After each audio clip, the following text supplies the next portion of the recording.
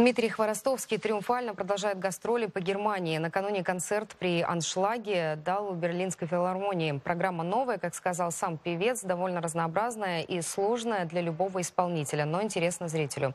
Доминирует русская классика.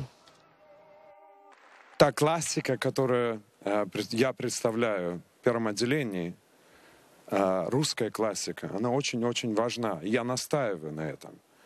Вот. Поэтому э, во многих странах, в том числе и в Германии, люди слушают это и открывают для себя э, русскую музыку, русскую культуру, Россию. Первой части программы исполнены арии из опер Мусорского, Чайковского, Рахманинова, Бородина. Далее оперные шедевры Верди.